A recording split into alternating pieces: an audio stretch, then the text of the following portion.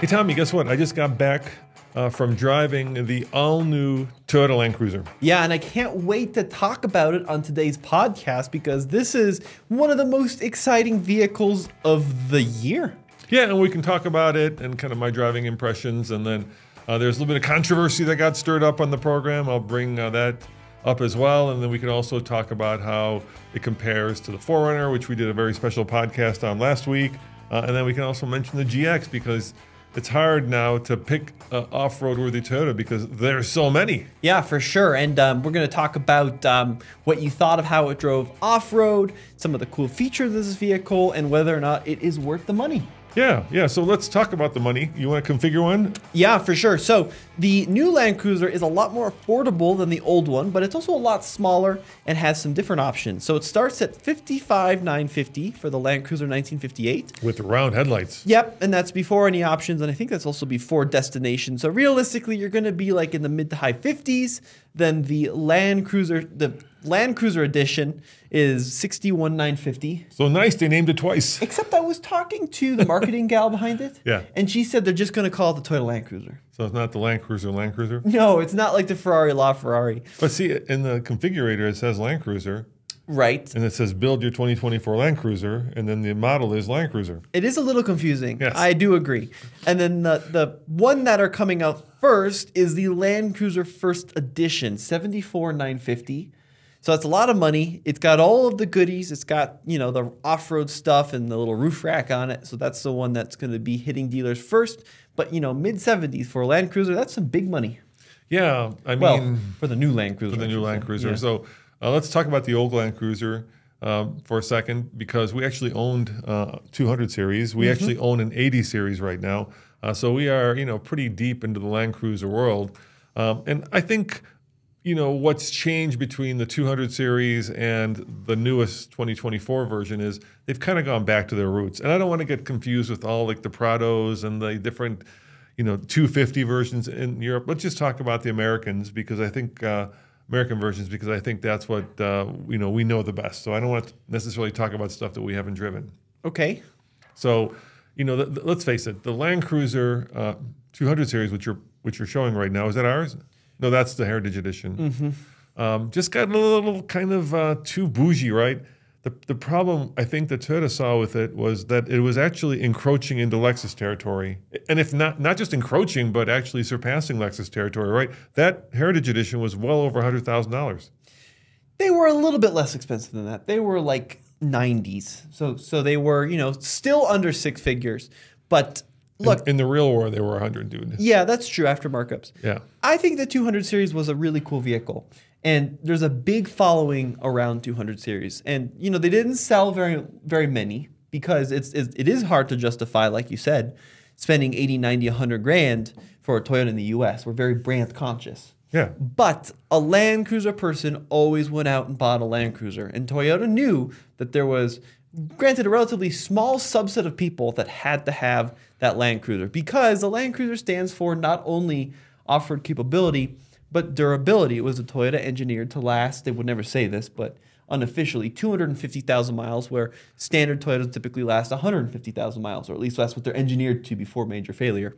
Hey, podcast listeners and TFL Talk viewers. I wanted to take a minute to talk to you about a quick and simple way to sell your car or truck with the help of our new partner, Highroad. With Highroad's online portal, you enter your vehicle's VIN number or plate, mileage, and zip code, and you'll get competing offers from several qualified dealers in your area within seconds. You pick the best deal offered and follow through with the dealer to sell your car. No more managing scammy emails from buyers on Craigslist or Facebook Marketplace. No more time wasted on no show buyers. No bait and switch with a will you take a check excuse from sketchy buyers. Now keep in mind, these offers will be for trade in values of your vehicle. If you want to go through the hassle of getting more for your car, that's up to you. But if you want to sell your car hassle free and fast, go to tflcar.com and click Sell Your Car in the navigation menu. Or click on the Highroad ad at the bottom of the website if you're on mobile, or click on the column if you're on a desktop. Highroad makes it easy, and we like easy. Yeah, and the, cool thing about the Land Cruiser, at least the last one, was that it had this great reputation of being very um, reliable, very comfortable, uh, very well built uh, for people in the know, right? So if you were a Kardashian, you'd get the G wagon, which had all, which has all his baggage that's associated with it. Yeah. But you know, if you lived someplace that was very wealthy and you wanted to kind of not be showy and not kind of scream, "I've got a ton of money," you would get the Land Cruiser because people in the know understood that it was comfortable, it was luxurious, but it didn't scream, you know, what the G wagon screams, which is, you know, I've got way too much money.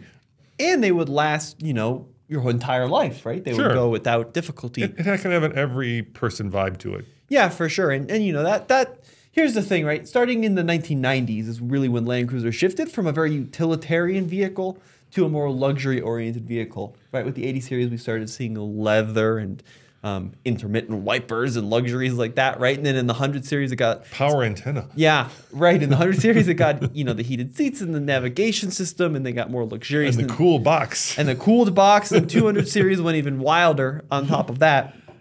And then with the new Land Cruiser, they decided to tone it down a little. Now this is where Dad, we are going to have to go into that territory that you don't want to go into a little bit because alongside the big Land Cruiser, there's always been a slightly smaller one ab- abroad, Yes. called the Prado, Right. which was sold here as the GX, Right. right. Lexus. Yeah, and now for the first time, when they killed the 200 series in 2021, um, they said it's not coming back. It did come back, but it didn't come back as the 300 series. It came back as the little mini version.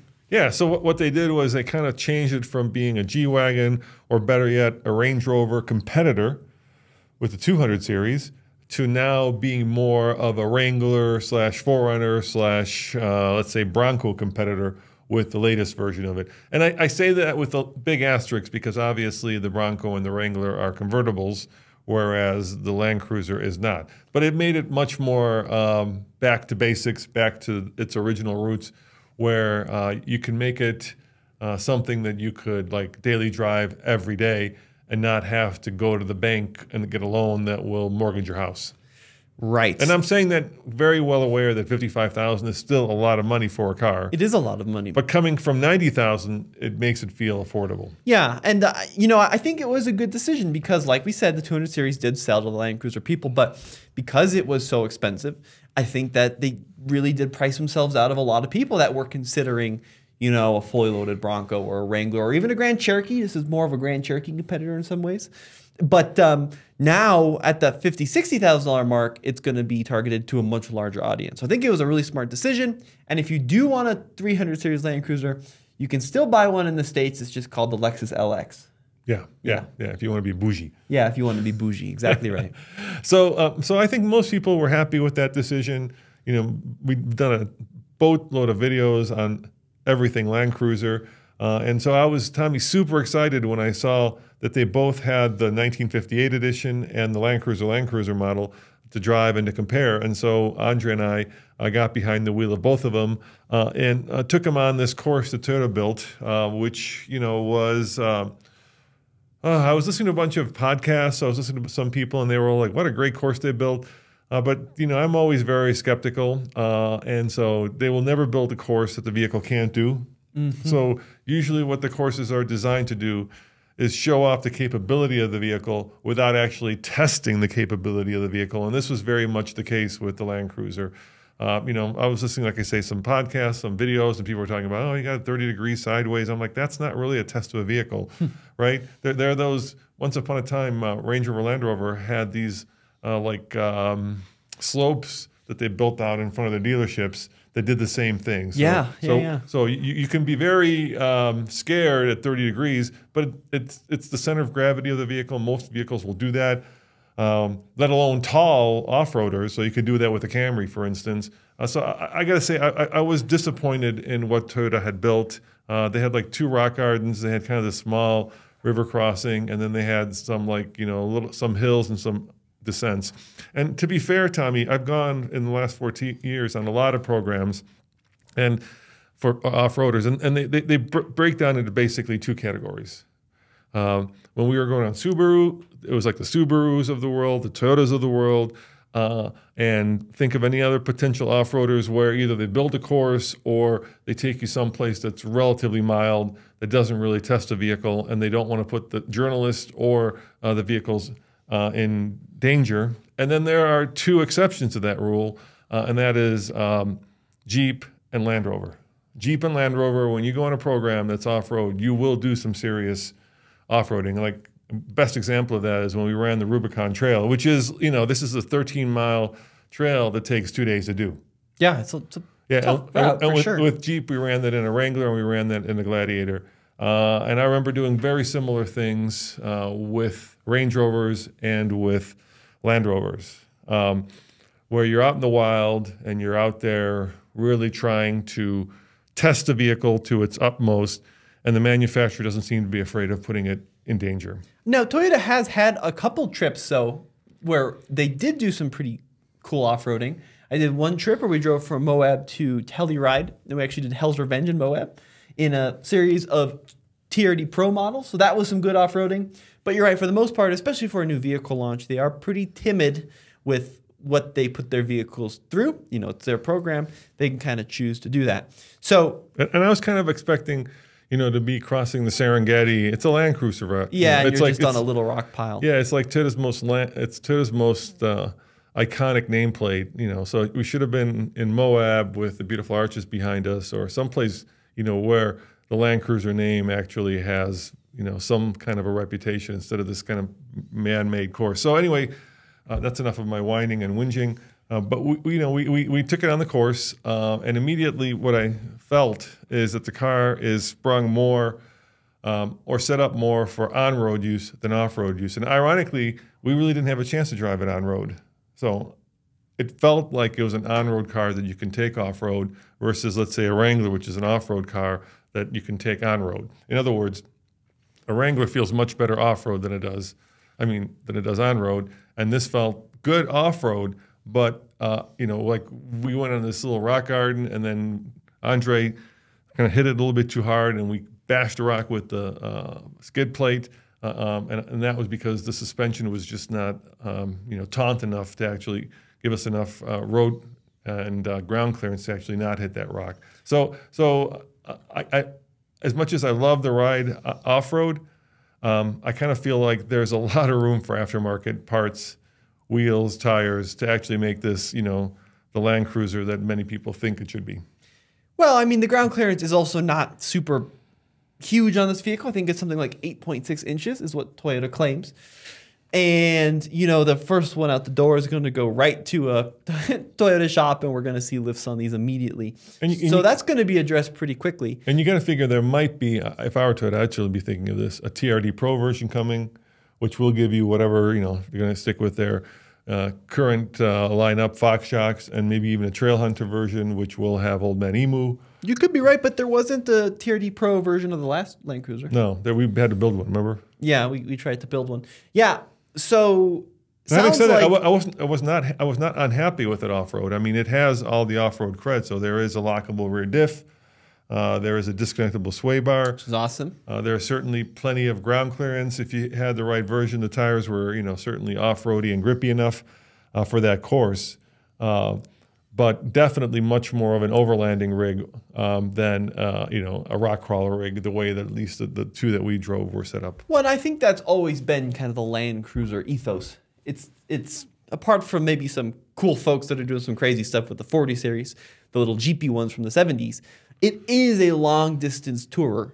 It's designed to tackle continents, right, and not so much the Rubicon Trail. So it kind of makes sense that maybe it's it's not intended to be a rock crawler. However, they did, like you mentioned, they did some really cool stuff on this vehicle, like the locking rear diff, like the locking center diff, like the sway bar disconnect, that do allow you to do some of those cool, maybe crawling sections, even if it's not fully intended for that. And I gotta say, I love the like the design language of it. You know, I would get uh, the base model, the 1958, all day long, especially if you could, you know, maybe uh, get the cloth interior, which I think is a great off road. And I would rock that thing as a daily driver that I would occasionally take off road, uh, and I would be very happy, Tommy. Plenty of power uh, out of the powertrain, and you know we know that powertrain because it's the same powertrain uh, that's basically uh, in our Tacoma. A little different though, With- the hybrid. standard hybrid. Hybrid, yeah. yeah.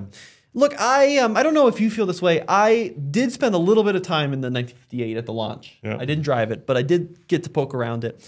It's not a very premium feeling interior. No, it's very basic. It's very like Corolla-ish in, in a lot of ways, and I actually love that because that's what I want in my off-roader. I agree. I love that too. But for fifty-seven thousand dollars after destination, I'm I, I would want I would want some more more quality materials in there. I mean, Yeah. it's a it's kind of a big ask for that interior. Yeah, so I'll give you the pluses and the minuses. The pluses are visibility, straight upright windshield, It's awesome. uh, very comfortable seats, lots of room behind the second row.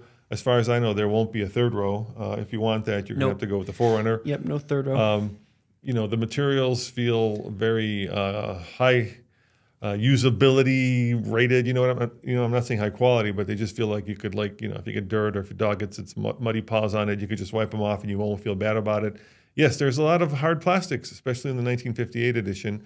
Um, and you still get kind of very small. I think they're 31s from the factory, if I if I don't, which you know, which is which is absurdly small. It, it, it just it's just screaming out for uh, you know 33s at least, if not bigger.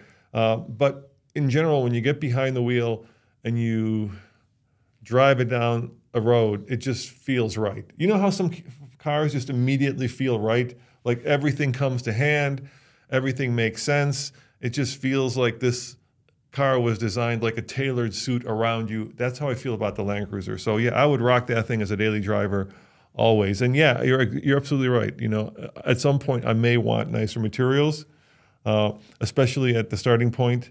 Uh, but the, the problem then becomes that even Broncos and Jeeps and Defenders, you know, are now at the sixty thousand dollar range, right? A Rubicon is going to be at least sixty k. sure. And, and as far as I know, last time I drove by the Jeep dealership, the only one you can get is a 4xe. And I don't know how much those start out at, but I'm sure they're certainly around 55000 I bet you it's not much off. Yeah. No, that's a good point. Yeah. And look, there's a couple cool things that Land Cruiser offers. Like it's a full-time four-wheel drive, the center differential, so you don't have to go between two high and four high. I think that's a really great feature. And yes, you know, Bronco and Jeep can be had with the four auto system, but it functions a little differently in that it's um, not actually center differential. I don't believe. I think it, you know, because there's a two high version as well in those vehicles. So it's more of an electronics based system, which is fine. But having that third differential is a very expensive and heavy way to engineer a car, but it's also typically very, very durable, which is great. I really do like the design, like you said. I think that's fantastic. I like that the towing capacity. That's another thing we should talk about. Six thousand pound towing capacity. Bronco and Wrangler can barely do five. Yeah, it's got a ton of torque with that hybrid. Yeah, so I can't wait to really get it on the Ike and see how it tows. So I think there's really a lot of potential there for capability. And look, you can't pull the doors off compared to like a Bronco or Wrangler. You can't pull the roof off. And I think that is going to be a detractor for a lot of people. But then you get those six letters on the front, which a lot of folks are very confident in is going to be a long lasting, durable, reliable vehicle. So that's going to sell a lot of these Land Cruisers as well. There is a little um, fly in my ointment when it comes to uh, the Land Cruiser, and that is uh, at the same program I was able uh, to uh, drive, uh, and I can't talk about that yet because those impressions are still embargoed. The uh, um, Toyota Tacoma LR um, LR3, yeah, Toyota Tacoma TRD Pro, and of course the Trail Hunter, and also see the 4Runner. And there's a new version of the 4Runner uh, for 2025. And just let's just talk about when these vehicles will be available. So uh, the Lexus GX, which kind of lives above the Land Cruiser, we can talk about that. We've we've driven it. Um, is in dealerships now. The Land Cruiser is hitting dealerships as we speak. Uh, and a hint to the wise, I was talking to the Toyota people, and they're built in Japan, and so they deliver the cars to the West Coast, and then they kind of propagate. So if you want one early, go to LA, uh, you know, go someplace in California, and you'll have an early crack at it. And then the new 4Runner won't come out realistically toward the end of this year. I'm thinking probably more of beginning of next year.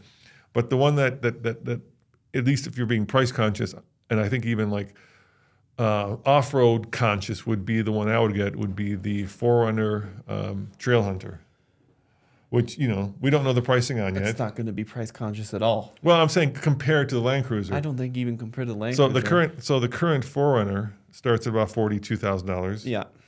So you know, I figure an SR5 is going to be what when it comes out 45, 50, 40, I mean, 50, yeah, 45, maybe 50,000.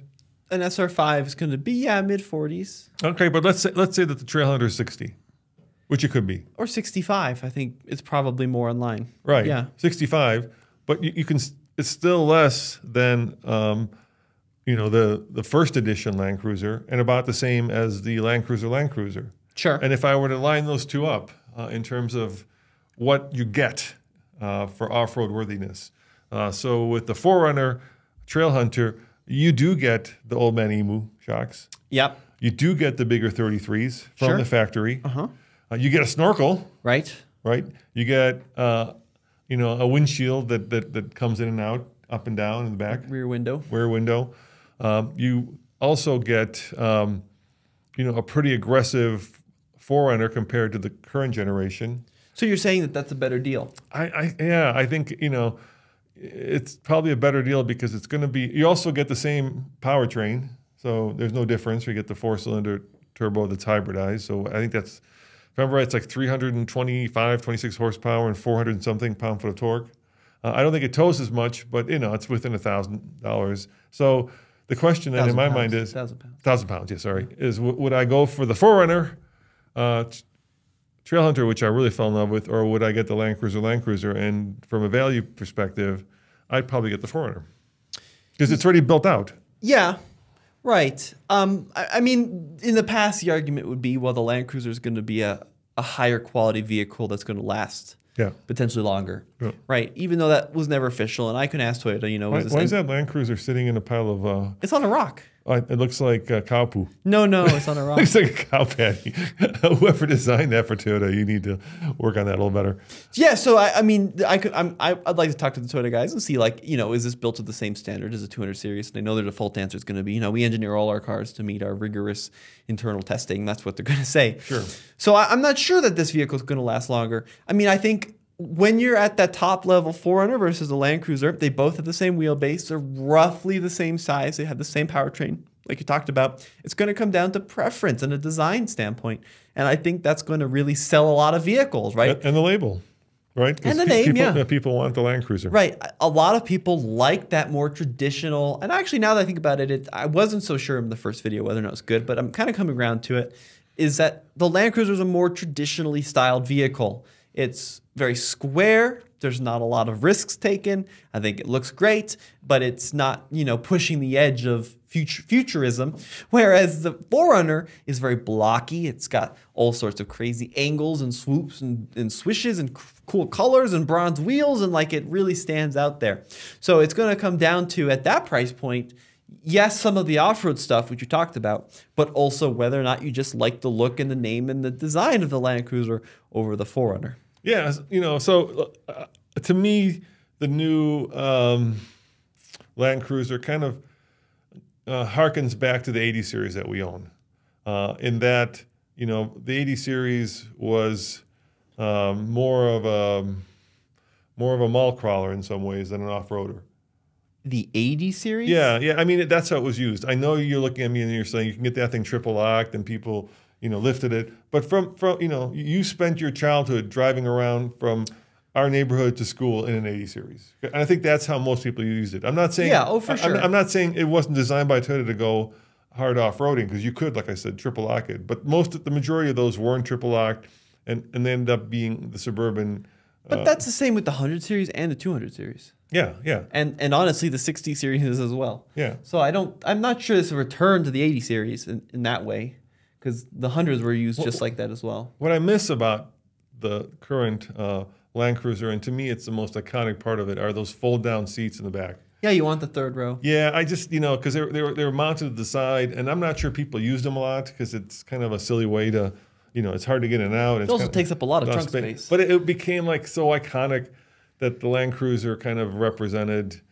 It represented what a Land Cruiser was, right? And I kind of missed that in the new one. And ironically, if you look at the new one, they actually have cup holders back there, And but no seat. well, as I understand it, the reason for that is certain markets abroad are getting a third row. Yeah. So certain versions, and Toyota will say, well, the cup holders in the trunk are great for camping, and and you know you- you're out camping in the back of your car. You want to put your beverages someplace. So you That's what they that. said. You're exactly right. Also, the Trail Hunter, speaking of which, has a compressor in the back. Which is cool, yeah. Which so is also Nice. I do agree with you. I think you get more. Uh, say the Trail Hunter is 63, which I think is a good bet. Yeah, Uh, plus markup. You're gonna get more gadgets with the Trail Hunter compared to the Land Cruiser. That's that's almost for sure. But the Land Cruiser offers that third transfer, that third differential in the the transfer case, and it offers, um, you know, some other some other stuff that kind of counteracts some of the the features. I, I guess I'm saying is, what's your use case, right? If if you want to go and you know occasionally off road and go on the dirt roads, you know, in your neighborhood or in the Great American West, uh, but not necessarily go do like frame bender and metal masher and poison spider and hell's revenge in Moab, then go with the Land Cruiser. Because if you do want to do that, you're gonna have to. I'm serious. You're gonna have to build it out. It's just from the factory. It'll do it, but you'll you'll break stuff. Yeah. even, even with the bash plates. You're probably going to want some sliders on there for sure, and you're going to want some some more aggressive You're rubber and maybe a little lift. Yeah, but 30. I mean, I think a stock Land Cruiser is going to amaze you where it can go. No, I'm not. You know, you're yeah, gonna but, be but it, scraping a it bottomed out pretty quickly when I took it off road. Sure. Yeah, it's only got 8.6 inches or something, is what they claim. Now So- here's the so- pickle. So, if you want to go do Hell's Revenge, get yourself the new Trail Hunter. The- wait, wait yeah, for. but the Land Cruiser will do Hell's Revenge. Yeah, a guy in a Crown Vic did Hell's Revenge, Dad. I think the Land Cruiser will do Hell's Revenge. yeah. Okay. So I, I went like this. If you're watching this, not because I didn't think it would do it, but because I hate bashing on things. I hate breaking things. I hate being hard on things. And yes, you, you can do it, but you'll bash on it. Yeah, but it's a Land Cruiser. That's what it's designed to do. It's got skid plates. If you're paying for the skid plate, Dad, you better be using the skid plate. That's my mentality. Oh, look, we just had the Ineos Grenadier. That also had 31s, Yeah, I know it's fine. but it had two more inches of ground clearance. So this is the other vehicle that I think also throws a big question into the equation, and that is for a few thousand dollars more, you can spec yourself a GX 550 Overtrail. So we're looking at 69 for this vehicle. Um, and now this is an interesting this is an interesting choice. So 69, that's after destination, 67 beforehand. And this vehicle offers the same capabilities as the Land Cruiser, but with a nicer interior and a V6 instead of a four cylinder. So this might be the one for people, and I'm doing air quotes now, in the know. And the reason I say that is I I don't want to mention who this was, but on the program, I talked to somebody who's very deep into the Toyota world. Uh-huh. I don't know if they've announced it yet, so I don't want to be like, like you know, taking any uh, uh, splash away from their announcement. Uh, but I asked them, you know, which of these three are you buying? And without hesitation, they said GX. Yeah, I mean, I, when I say three, Forerunner or Land Cruiser or GX. And GX is a max, depending on how it's configured, of 9,000 pounds of towing. So you get more towing. You still get the locking diff. You get the aggressive tires and um, the better approach angle compared to the standard GX. So this offers a lot of value. Plus, you get a much nicer interior. So I, I kind of think that this is this is the way to go. There's two versions of the Overtrail. There's the standard one and then the Overtrail Plus. That one's going to be, you know, we're talking 80 grand. And, and uh, you know, I said at the, at the beginning of this uh, show that you know only Jeep and Land Cruiser, uh, Land Rover. Uh, sorry, I've got land on my brain now. Only Jeep and uh, a Land Rover do hard off-roading uh, for journalists. Uh, apparently, the program we went on with the GX, they set up a really difficult course. But unfortunately, the day we were there, it got rained out. So we got so so. I don't want to like leave the impression that Toyota's not doing hard off-roading. We went on a dirt road with it, and I talked to some other people who actually got to go on the off-road course, and they said it was very difficult. But then I I also thought to myself, you know, I talked to a lot of journalists who go on Subaru programs, and they say they're very difficult. And then I look at the program, and I'm like, that doesn't look difficult. Yeah. It's it's you know, it's just it's kind of a, it's kind of what you're used to. It's a spectrum for sure. Yeah. No, I think the GX is an interesting proposition. I, I think for me, um, I, I need to take both of them off road and compare. I personally like the look of the Land Cruiser a little more than the GX, but people love this new GX, and I think rightfully so. It's a really attractive vehicle. Not saying it isn't, but I also like the hybrid system.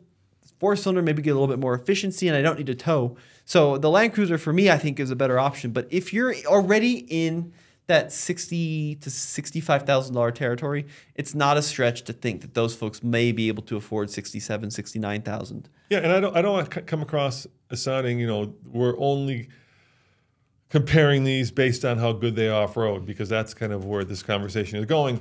But the truth of the matter is, all three are great on road. right? And I keep thinking to myself, they're all very comfortable. The the new, uh, well, we haven't driven the 4Runner, so I can't tell if it's. I'm, I'm just assuming it's going to be good off on road because it's basically based on Tacoma, which we own. So if it drives like the Tacoma, it's just going to be really good on road, very comfortable, much more torque down, much lower in the rev band, uh, very, um I would say, rev happy. Uh, four cylinder. The only downside of that engine and the uh, I think eight speed transmission is it doesn't sound great, but that's pretty much any four cylinder uh, turbo nowadays.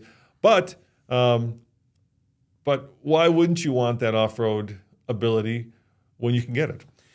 So the other vehicle that you could also put in this class potentially is, of course, the Land Rover Defender 110. Also starts at right around 61, 62 after destination Which we've also owned. for a base model. Yeah, and you know, this is also a very interesting proposition. I, I really do like the Defender. Realistically, you're not going to get into one for under 70. So this is going to be on the on the top end of the comparison. You, you have to give it to Gerry McGovern who designed it. I'm looking at it right now on the screen. Yeah, And it's very good. a- And, you know, you, you can tell the Toyota with, especially with the round lights on the Land Cruiser, crib some of the design elements from the uh, Defender. I like the interior actually a lot more on the Defender compared to both Very utilitarian. Yeah, but it's also got kind of like an air of luxury. So like you've got the exposed bolt heads, but then you've got really nice leather on the steering wheel, and you can get it on the seats, and it it it feels really good. And I think you can still get it with rubber floors, which is cool. So I think the Defender interior is cooler than all of them. I think that the exterior design is okay, and then of course the thing you have to mention because we have to unfortunately is longevity. Look, we had some bad luck with one or two of ours, but from folks I've talked to, overall, they have been pretty good long term, actually. Folks seem to be really happy with them. And there's a lot of options you can get on Defender. You can get the off road package with the locking rear diff, you can get it with a towing package, you can get it with air suspension, which you can't get on the other vehicles. So there is some advantage to going with the Land Rover. Plus, it's got, you know, and I uh, we talked about how it's bad, but the fact of the matter is, a lot of people do like that brand and that image, right? Yeah. Defender does offer that, that brand and that image. Yeah, uh, Defender, uh, you know, is I love the look of it. I, uh, you know, love the ride. I love the handling. Uh, I love the smell of it. Actually, it's got a really good smell to it. Uh, the, the biggest issue it has, I think, there are two issues. One, and this it can't help this unless they refresh it. It's no longer the new kid on the block. Sure, So when it, when, when it first came out, it was like, holy cow, man! You know, they they just designed something completely different from the old Defender. Um, and so people are getting kind of a little bored with it to some extent. You know, if you wanted one, you would have had one by now. Um, the other problem with it is um, really the operating system that that that that that Land Rover has is really slow, cumbersome, and just not intuitive. And that that is something that not just Land Rover suffers with, but every automaker seems to be struggling with that right now. And we know that Apple, for instance, is going to be pop, not just you know Apple CarPlay, but the actual software that runs underneath is going to be now with certain brands built by Apple, and I think that's a good thing because I, I, somehow it seems to me that automakers are really great at building cars, but really bad at building operating systems for uh, their screens. And, and let's face it, today the cars and trucks are all about you know how they interface with your life. In other words, how they interface with your phone. And if you if it struggles, then then it becomes kind of cumbersome and you know kind of off putting to some extent. And the other option too, which we should talk about, is the Grand Cherokee. So also in this same class. Uh, now, Grand Cherokee does offer some things that Land Cruiser doesn't offer, like you can get it with the plug-in hybrid 4xE version. And, you know, on the lower end, it's certainly if you get the gas model, you can get it in the high 30s. On the upper end, it's going to be, you know, 60, 70, so you're right in line with it. But how do you think like a 4xE Trailhawk Grand Cherokee compares to the uh, the the new Land Cruiser? Oh, wow. That's a great question. So um, I've got two answers for that. Uh, and, and this is, once again, me. Uh, so the Grand Cherokee, along with the Wagoneer and the Grand Wagoneer, have kind of moved up market. So I, I think they kind of set their sights more on uh, Range Rover and Land Rover versus what they were traditionally, which would be kind of you know more affordable. And so, to me, not in terms of off-roadiness, but in terms of luxury, you get a lot more luxury with the Grand Cherokee. It- It's got a lot more screens. It's got a lot more like bells and whistles you can get. Uh, it's just a much more um, luxurious and in some ways uh, uh, more, um, more uh, what's what's another word for luxurious? Premium. More premium car, yeah. Uh, um, whereas the Land Cruiser um, is much more uh, basic in a lot of its design elements and much more utilitarian. So to me, the, the Land Cruiser uh, doesn't necessarily compete with the Jeep Grand Cherokee. It seems like the Jeep Grand Cherokee competes more with the GX these days than it does with the, with the new Land Cruiser. Well, but you're also forgetting like the Grand Cherokee spans such a wide. It does, yeah. We had one for a while. We had we had the off-road Trailhawk. I mean, keep in mind, Grand Cherokee, you've got both two and three row in the standard and the L. You know, base model, if you get a standard two wheel drive Laredo, you're going to be looking at like 37, 38. So here's my question: Can you actually get a standard two-wheel drive Laredo? I, I, I mean, I don't know why you would. And I'm saying, can you? I don't know if you actually can. Once again, when I go by the Jeep dealership, and I've gone by a bunch, it's all four by E's, Yeah, no, that's and that, true. that includes Grand Cherokees. And what does a four by E start at? They're like 60. Yeah. But keep in mind, 60, there is some tax advantage, you know, tax credit Sure. with going with the four by E, And then if you're looking at like a Trailhawk four by E, you know, starting at s- 60s before the credit, you're right in line with that with that Land Cruiser in pricing. Now, I think the 4xE, that electric only capability for that 20, 25 miles is very cool. I think that's really, really neat. I do agree with you. I think the interior is much more upscale than the Land Cruiser. I don't love the way that this new generation drives off road. It's very stiff. Even though we do have a new redesigned air suspension system, it feels very firm and it doesn't feel very um, rugged in some ways. Like it, it feels a little fragile because there's just so much stiffness in, in the frame, and it feels like a lot of the jolts are being transmitted into the components instead of being soaked up by the tires and the suspension. Now that that I, I don't know. I haven't broken one off road, so I could be way off base here. But um, it, I think that you're right. The exterior wise, the new Grand Cherokee is awesome. Interior is a little too premium for me, but it is worth noting. You know that 4xE model delivers a lot of power and it delivers a tremendous amount of torque as well. So it's a it's a pretty high performance vehicle. It's pretty fast. I mean, Yeah. 375 horsepower, so 50 more horsepower than the Land Cruiser. Yeah, 470 um, pound feet of torque. That's, Yeah. that's a lot of power. yeah. I'm learning to like the two liter uh, turbo that Jeep puts in both uh, this vehicle and, of course, uh, the Wrangler. But I don't love it, Tommy. I just don't like it um, as much as I like the Toyota's uh, four cylinder turbo. Why is that? Uh, it just feels a little clunky. It feels less refined. It feels a little bit less uh, less comfortable with the transmission. Um I think Jeep, with their 1.0 version of their uh, 4xE, has created something that's outstanding and groundbreaking. But um, certainly, it's the first go at it. Uh, And so, so, so there's a lot of different systems that are at play, and sometimes it feels like they're not quite dialed in yet, so that it's a seamless uh, flow of power and torque um, and regenerative uh, braking. Whereas Toyota has been building hybrid systems now forever, right? As long as they are, and, and to me, those feel like they're really dialed in, right? They're, if you didn't know it was a hybrid, um, you wouldn't guess it was a hybrid. Yeah, Whereas no. you'll know it's a hybrid when you get into the Jeep. You. Yeah, I, I mean, I think that the four the the the it was originally called the Hurricane engine. Actually, now that name's been kind of applied to the six cylinder, but the two liter four cylinder, um, it's a little coarse. The power band is very abrupt, low low end, and then there's not a lot in the upper end, and it doesn't interface very well with the hybrid system in low range. So I think there's definitely some tweaking that needs to be done there. So yeah, I mean, for me, you're looking for an on-road vehicle only, get a standard V6 Grand Cherokee. It's great. It's really good. If you can get one for under 50, I think it's a great vehicle. If you're looking for a vehicle that's a little bit more rugged to take off road, I would definitely lean more toward the Land Cruiser. And I haven't driven it, but just from a durability standpoint, I think that feels a little bit better screwed together.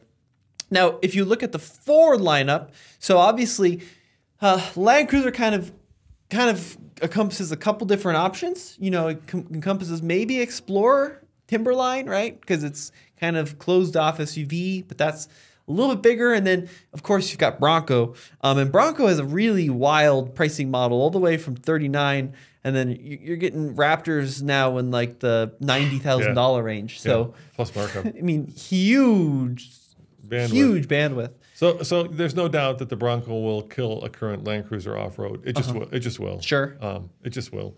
It's just designed more, much more for off road use than for on road use. Having said that, the Land Cruiser will be better on road than the Bronco. The Bronco is much better than the Jeep on road uh, because it doesn't have two live axles. Uh, but the Land Cruiser is just much better, um, at least from the little on road, I should say, on dirt road driving than, than, than a Bronco is. The other thing that the Land Cruiser does well is it looks utilitarian without feeling um, cost cutty.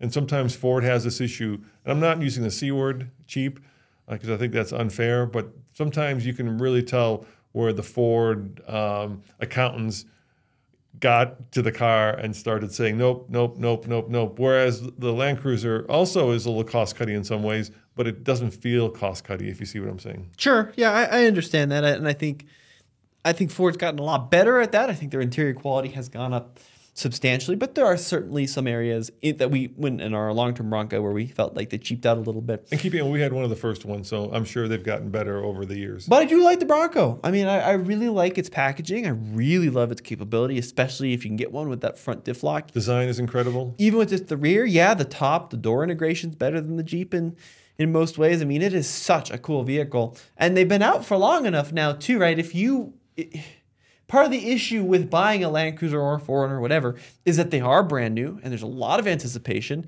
and you're gonna have to if you're not in line already you're gonna have to get in line fight with markups fight with dealers fight with availability. And that's a very stressful experience. Whereas you know the Broncos now you can just go to any Ford dealer and there's gonna have six of them on the lot. You pick one it's probably not gonna be marked up. There might even be some money on the hood and you drive out the door and you got a really cool vehicle that you can take the doors and the top off of. And, so and I love the Heritage Edition. Yeah Those are the so- heritage oh my edition god, they're so really good cool. looking. Yeah, the, especially the uh, white roof. Um, you know, they're the, the the the blue one there, Tommy. Yeah. that that that is. I love that. yeah but Does it have a white? I thought it had a white roof. Yeah, I have the roof off. Yeah. Okay. can put Yeah. There you the go. Now you got the white Stripes roof. Yeah. on. Yeah, the Heritage editions are cool, but this one, this is a Heritage Limited Edition. I mean, look at the price on this. We're, we're, we're knocking on the door of 70 G's here. 72. Holy moly. So that that is some big money, although you can get the basic one for Well, it's it's it's up there with the first edition Land Cruiser. Um, So price wise, they're right in line with each other. But I think what you said is hugely important. If you're one of those people who needs to be first, then you know get ready to fight for a Land Cruiser because everybody wants one. People are super excited by them, and Toyota has this uh, kind of interesting way of allocating vehicles in that you can't really go and build one online and then you know wait for it to be delivered to your dealer. Uh, Toyota just builds what they think that people want, and then they deliver them to dealers, and the dealers have to kind of swap cars among themselves, uh, and that's not going to happen with Land Cruisers until there's a lot more of them built. For sure, yeah. No, I, I think you're on the money. I mean, Bronco, look, you can get a basic Heritage Edition for 50s, high 40s, yeah. And keep in mind, Bronco, you also have a choice of a manual transmission, which you don't get in the Land Cruiser. You also have the option for that EcoBoost V6. So if you do really need V6 power, you get it in the in the Bronco. And then, I mean, of course, the last key to the the uh, the pie here that we need to talk about is the Wrangler. You know, and Wrangler and Land Cruiser have never really competed in recent decades, but now that Land Cruiser is in that mid 50s territory, I cer- certainly think there's going to be a certain level of cross shopping going on. Yeah, no doubt. Um, And Wrangler, you know, you can get it with 4xE, as you mentioned. Most of them you're going to find on the dealers are going to be 4 by e's it's funny, you know, if we had done this podcast like four years ago, uh, I would have said Wrangler people or Jeep people are Jeep people and they're never switch. But then I met a lot of people who fought Broncos, who used to like be diehard Jeep people. And I'm not saying there isn't still a diehard Jeep community, uh, but you know, four years ago I would have said it's e- if if you want an off roader, it's either a Wrangler or nothing. But now I don't know. I think it's much more fluid. I think people like to mix and match. I think they like to try different flavors. Uh, and the problem the Jeep is having uh, is that the JL is getting also old. Yeah, for sure. I mean, it's been out since 2018. It was refreshed in 2024. In my opinion, they didn't do enough to refresh it. They gave it a new grille, bigger screen, power seat. That's cool. Uh, and you know, I'm, I'm sure that the corporate would tell you they also cut costs, but realistically, the costs of these vehicles in person in dealers are going to be crazy high. I mean, this Willys 4xE, eh, you're, you're going to be mid to high 50s for even a basic one. But once again, you get the tax break because it is, you know, Yeah, plug-in hybrid, and Yeah. you get 20 miles of all electric range. So yeah, I mean, I think the way that Jeep really broke away from the crowd, especially Bronco when it came out, is they started diversifying the powertrain. So you had V6, two liter, plug-in hybrid, V8, and that was a good strategy. and now they're kind of stuck. You know, there's not a whole lot to really elevate it in some ways above the competition until they start maybe and even inevitably cutting the price because it is getting older. And I, I do think that some of its on-road capabilities are somewhat Well, well, I, compromised. think, I think you saw that graph with the Gladiator, right? When it first came out, they were, and they still are, you know, sticker priced at the top end of the midsize pickup truck world. sure. you know. Uh, but now, if you go to your local Jeep dealer, you'll see Gladiators in the lot with like you know serious money on the hood, uh, because people. The, the, the problem is those who wanted it have bought it, and now you know the rest of the world is looking at other vehicles that they're starting to shop. them. yeah that's that's kind of that's kind of scratching that itch for the the off roader. Uh, So of all the vehicles we talked about, now that you've driven the Land Cruiser a little bit, and the GX and the Bronco and Easy. the Wrangler and the Defender and the Ineos, if you want to go crazy expensive, um, which one is your favorite? all right, if I wanted a daily something, Mm-hmm. if I wanted a daily something, I would definitely get the Land Cruiser. Not the GX. Not the GX because it's, it's you know once again it's it's very expensive and it's a little too uh, premium. Um, so if I want you know, but if I want to daily something and then actually do serious off roading, I'm not talking. And I'm talking about Toyotas only. Okay. Well, no, And, and I'll, I'll, I'll have add those. all I'll, of it. I'll add those into a second. Okay. Let, let- let me extend this podcast. We got an hour, Tommy. Um, so if I want daily and take it off road, I would get the GX. If if if money were no object. Um, but if I were to get any of the new Toyotas, it would be the 4Runner. Uh, I haven't driven it, but I've seen it. I fell in love with it. The 4Runner Trail Hunter. Okay. Okay, now talk about Bronco and the Wrangler. Uh, I love Wranglers and I love Broncos, but for me, um, those are kind of off the list because I get bored and I've been there and done that. Okay. So, you know, right now the most exciting we own is a 1945 Jeep military MB, and that gets me so excited because it's it's a whole new world of Jeep that I have yet to explore. Uh, and I drove it once, and I just absolutely fell in love with it. And nothing, not that there's anything wrong with Wranglers, but like I say, been there, done that a lot. Um, you know, certainly one of the most capable off-roaders. Um, same thing with the Defender, kind of been there, done that, and so I'm ready to move on to something new. Um, and you know, I can't say which one I would buy if I could only buy one because I haven't driven the 4Runner. We really have an off-roaded the GX, uh, and we really have an off-roaded the Land Cruiser. So th- th- I've kind of given you kind of a you know a, a basic, best I can description of what I would buy. Yeah, and I think you're right. We do need more hands-on time with Land Cruiser and GX, and then of course 400. No one has driven. I mean, I think for me, um, I, I do agree that the. I think if, if you do have the money, the GX is a is a better package than the it Land might be the one for the people in the know. Yeah, but I, I don't think I could justify spending 69 on a on a new vehicle that I was going to take off road. I think that the um, 4Runner looks very cool, but I'm not a big fan of the styling. Fair. So I think it looks cool in in a very futuristic way, but it's a little busy. So I, I like Land Cruiser more than 4Runner. And then y- you know when you bring in the competition, Defender is cool, but it's just too expensive. Especially you know if, if you're going to be in the mid 60s, you're going to be four cylinder, and I don't love that four cylinder Defender. So that's kind of if I had 80, I'd go Defender. That's off the list though for because just pricing. Well, if I had 200, I go G wagon. Yeah, same thing. Yeah, same thing with the Ineos. It's just too expensive. Yeah. Um, I think that the Wrangler is a little old, and it's just too compromised on road now for most folks as a daily driver. Um, it, it, it just needs to be better in, in a lot of ways, It's- yeah, especially prob- for the price point. the it's problem I just have not. with the Wrangler is uh, I just can't move the seat far, far enough back. I just drove the Gladiator, same problem all the way from Moab here.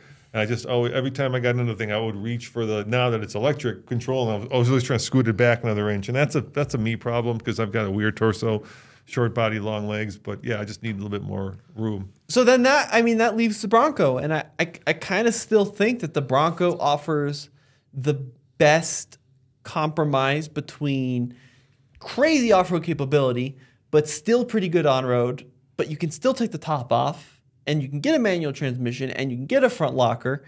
And yeah, I, mean, I, I I really do like that Bronco. I mean, I, I think it's going to be between me. It's going to be between Bronco and Land Cruiser. I'd like to get them side by side. I haven't driven the Land Cruiser. Maybe it's phenomenal, so I'm really excited to spend some time in that. But um, just initial impressions, I'm still leaning more toward the Ford over the Toyota because of the top off capability and because you can get one fairly well equipped for under 50. Yeah, you fell in love with that Everglades, didn't you? When you went Yeah, on I the did like program. that Everglades. Yeah, that was really one- cool. That was some good that off-roading. the factory winch. We did some good off roading in that trip. Yeah, it's also amazing that like uh, right now, uh, and I know we're just at the beginning of the Land Cruiser rollout, but there aren't a lot of the serious off-road uh, uh, add-ons that, that I would want. You know what I'm saying? Well, no one has them. What? No one has them. Here, a Bronco has them. You can get a Bronco with a factory winch. You Oh, get- you mean like Toyota itself? yeah, yeah. optioning. Yeah, Oh, yeah. I- they're leaving once again. They're doing the same thing that the other manufacturers did, and they're leaving a lot of room. You know, a lot of money on the table for aftermarket. And Hmm. I'm just I'm just curious about why don't do that, Toyota. There's so much more you could do to the Land Cruiser. And I'm just not talking about bumpers, but you know, give it some. Give it some like better off-road worthy tires from, Well- from the factory. So the first edition does come with a lot of that stuff. Some of that It's stuff. got the rock rails and the roof rack. It's got um, More overlandy stuff. yeah, it's got the mud guards, right? So it's got some stuff. Mud guards, Tommy. Well, you, can get, I- you can get a Jeep now with 35s from the factory with the Extreme know, Recon I know, package. I know, I know. It'd be really cool, like if they did a factory winch. I think that would be awesome. If they did TRD skid plates, if they did a two-inch lift, like that all should be And, and factory option. And like you know, here's a great op- opportunity. I- incorporate onX, you know, one of our partners, which is great off road, which shows you Jeep does that with a different provider. But I'm saying I would, if I were Toyota, I'd be reaching out to onX and saying, hey, could I have the software built into the vehicle so that I can, you know, go and explore places that are much more off road than on road? yeah, no, I think Just just really basic, st- basic Yeah. stuff like that, you know. I mean, the one I probably wouldn't get that first edition. I think is a big premium over Land Cruiser. Land Cruiser, and it doesn't get you that much more. I think that's Toyota's capitalizing on the fact that people want to have it first, which is ultimately a smart business move, and people are going to pay. Yeah, you know, like we did with the Cybertruck by getting the Yeah. foundation series and then not getting it. Yeah, that went first. really- yeah, that, really that well. worked. That worked brilliantly. And you know, Gladiator did the same thing too. A lot of people got really pissed off because the first edition Gladiators Yeah, eventually were delivered after the base ones. Yeah, that, Yeah, that's that's not a good look if you're an automaker. But looks like Toyota is doing the first editions first. Yes, so that is are. a good move. Don't get me wrong. That's a smart move. It, it would seem a logical move. It would seem a logical, Logical move. move, yes. But I think I would, if, I, if it was my money, I would wait for the 58 or the Land Cruiser spec. I mean, let the let the people get their first editions first and, and have fun with them and be jealous for a few months, but then save like some cases ten thousand dollars to get the the Land Cruiser So, spec. so there's another problem with the Land Cruiser, which we haven't discussed, and we can close on this, okay? Okay. Uh, color choices. So I love the 1958, but uh, the, the three bad colors: black, three- white, and gray. Yeah, I know. A What are they doing? refrigerator, I hate black, and I hate gray. Like, could you get less interesting colors? I mean, it's almost like they did it on purpose uh, to make you. Well, I think they probably did. Yeah, but that, I hate that too. Don't, don't do that. Don't, don't decontent the base one to make you, or at least if you're going to decontent it, don't decolor it to make you jump up to the next one up. And even if you go to the next one, right, the Land Cruiser, there's that blue one, which is cool. But Mm-hmm. the rest of the colors are also so, I mean, they're so boring. they're very muted. Yeah, you, you really almost have to go to the first edition to get anything that's at all like unique and Yeah, but the, no, the first edition is the same Let's colors. get that gold or sandy or you whatever can get bronze. that on the Land Cruiser too. Can you? I I think you're they're they're betting that folks buying the Land Cruiser are going to be a little bit more grown up and mature. Where, where is the forest green? Where well, is the the, 4Runner is going to have those. Where's the red? I think 4Runner's going to have all the fun colors. Yeah. But that, that's not no no. Give, don't don't give people choice, please. Give pe- people love having choice. Okay. Yeah. All right, folks. Well, we'd love to hear what you think about the upcoming four-wheel drive wars. Toyota's had such a big few months with this, and they're really cranking out some cool stuff. We just need to get them out to Colorado, out to Utah. You want to do a little bit of a rant? No. I think you should. You've been really upset about that uh, Lexus that we have now this week. So we have a, we have a Lexus RX 450 H plus. Yes, Yes, and it just it just beeps constantly at us. it does beep a lot. It, I mean, it. And we had the same problem with the Tacoma. It's like Toyota's getting a little too nanny-ish with their products. So, like for example, so it it it, it snowed today, so it beeps that the parking sensors are blocked. Okay, and then you turn it off. hang on. Okay. Beeps that the parking sensors are blocked. So you, so you start driving, it stops beeping, and then it gives you a warning on the dash. It says parking sensors are blocked, and then you're like, clear it. All right, I know they're blocked. Drive for another couple minutes. Parking sensors are blocked. Clear it. Drive for a couple minutes. Parking sensors are blocked. So you have to go uh, into the screen and turn out the parking sensors. So that was great. Figure that out. Drove along another five ten minutes to get a warning. Oh, your adaptive cruise is blocked. Oh, okay, clear that. Adaptive cruise is blocked. Your radar sensors. And I'm like, then then you gotta then I turned off like the driving assist and it still got the warning. So they just need to be a little bit less naggy with some of their warnings. Yeah, how about your attention warning. Yep. That I did figure out you can just go into the screen and disable, and thank God, because every time you look out the window, it says driver inattention. That's not it- just Toyota. That, that, that's a lot of yeah. Yeah, that was really, really bad. Um, but yeah, it's just a little fussy. And then the electronic door handles, no one over the age of 60 can figure out. So there's a button you That push. includes me, Tom. and you have to push the button in the door at the same time. But if you push the button in the wrong direction, then it tries to do the manual version, and then and then the old people get really confused. I I got the point. I got so confused that I'm now using the manual door method. Well, it's just a mess. Pull it The- out twice to it- override the electronic door. If you're not in park, then yeah, it doesn't want to unlock, and it's just a lot of lot of fuss with it. So I think that's bad. The powertrain's great. I really like the plug-in hybrid system. It's a very comfortable car. The seats are good. Um, design it- is not good. The design is not they've good. They've No, gone. They've gone full like like beluga whale. Yeah, it is not good. No. But the car is very comfortable. It's a little too expensive. This one's like mid 70s. I I see clouds on the horizon because the RX is Lexus's most uh, popular car. It's the one by far it sells more than any. I, I think it sells more than all the other models combined. And they, they, they didn't they didn't nail it, Tommy. They just didn't nail it in this generation, and that's a problem for Lexus. Well, yeah, but they have so many other great cars. I mean, And once again, it's, it's the most. It's yeah, the one I you got to get right. But the, their This is- crossover lineup now, I mean, not only it used to be they only had the the RX and like the GX and, and now LX and NX and the yeah, but it's the still the, UX. It's still and- the sweet spot in the yeah, in so the in, in, in, in kind of the size and then money wise. a little fussy, but Yeah. a good car. It's just fussy. I, I see I, I see a uh, mid-cycle refresh coming sooner than later on the RX.